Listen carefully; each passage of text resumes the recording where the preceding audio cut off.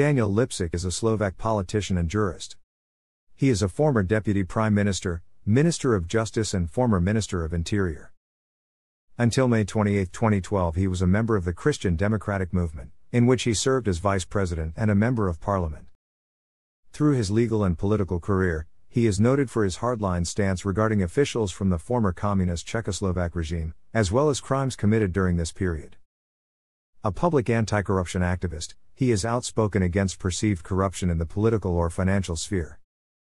In May 2012, in the aftermath of the electoral defeat of the Radičová cabinet, Lipšic together with Jana Žitňanská and Gabor Grendel, left the KDH and formed a new political party called Nova. He currently serves as its president. Daniel Lipšic has consistently been ranked as one of the most trusted politicians in Slovakia. Daniel Lipšic was born on July 8, 1973 in Bratislava into a family of physicians and doctors. Both his parents, along with his twin brother Erik and all of his cousins are medical doctors, and Lipšic grew up aspiring to be a doctor, saying, I always thought I would be a doctor too, since. During communism, a career in law was restricted. But after the Velvet Revolution, things changed. He attended secondary school at the Grosslingová 18 Upper Secondary School.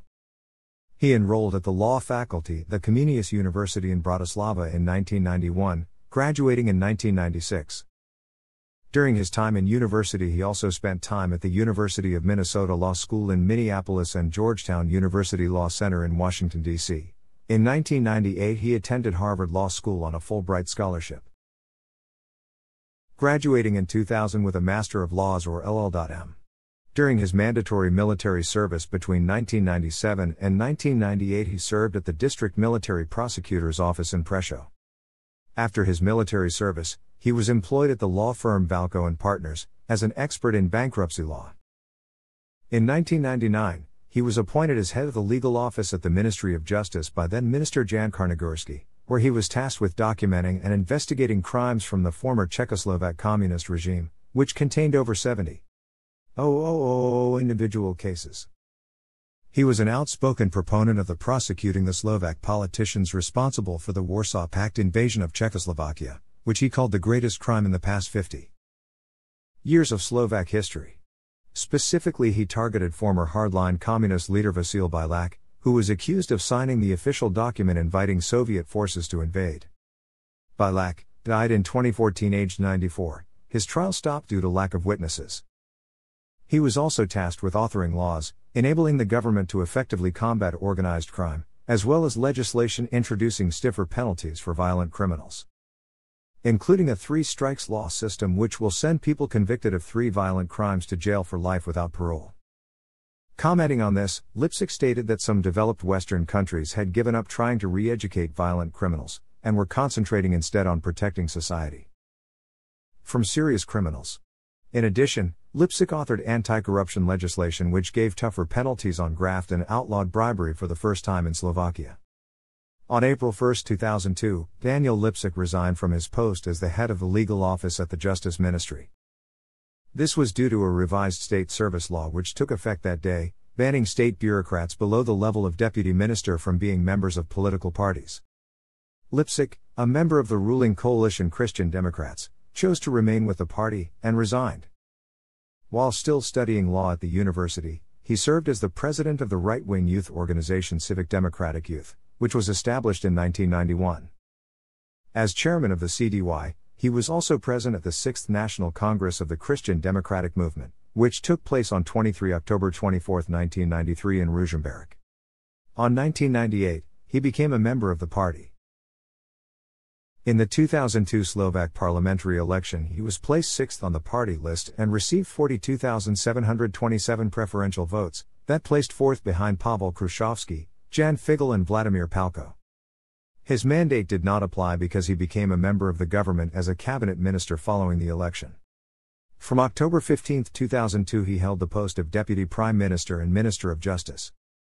435,000 during his reign, the District Court of Bratislava I decided with a preliminary measure that the strike of the railways in February 2003 was in breach of the law and had to be terminated immediately.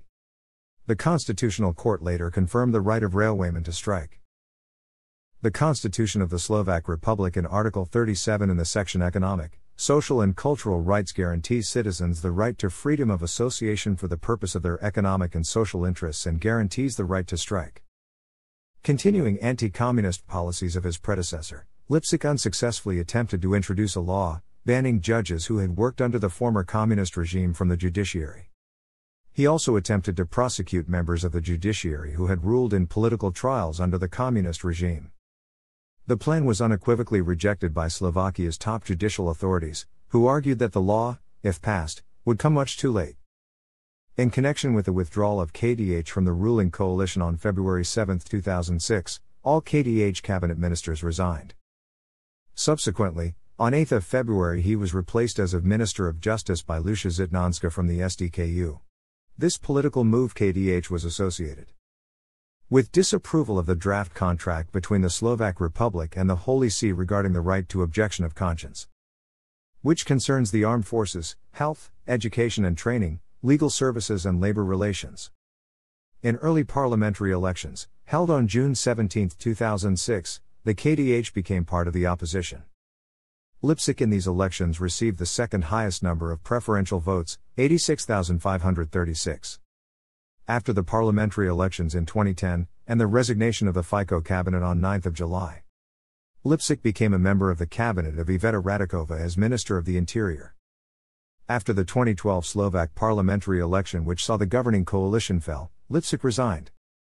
While at the Ministry of the Interior, an anonymous source alleged that Lipšic had connections with an Israeli secret agent.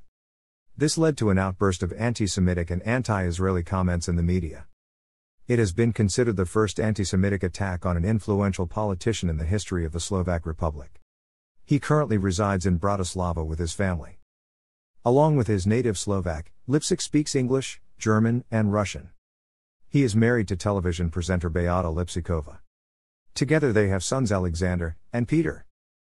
He has a twin brother named Erik, who is a specialist in internal medicine and is currently working as a cardiologist in Groningen in the Netherlands.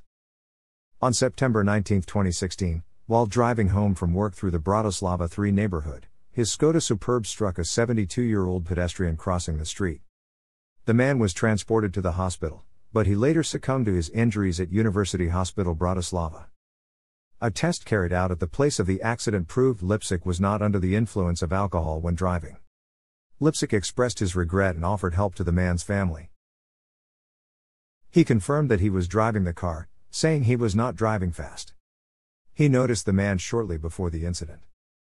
Days later, Lipšic announced that he would resign his parliamentary seat due to the case being under police investigation, saying I would not be able to do my job fully anymore. On January 23, 2017, the Bratislava police confirmed that Lipšic would be charged with unlawful killing following the accident.